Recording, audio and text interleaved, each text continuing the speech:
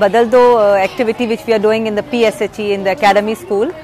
Uh, it's a very good activity and uh, why I call it a very good activity because it uh, teaches children how to come to a fact, uh, not to believe a distorted form of information that comes from person to person and uh, to believe in a fact once they start believing in a fact that will lead them lead them to you know to talking about true things being true being truthful and uh, it's basically teaches you the uh, primary ethics of life that we are lacking nowadays.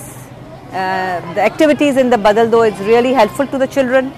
They've learned quite a lot of things from it. Even i've learned a lot of things from it. Thank you so much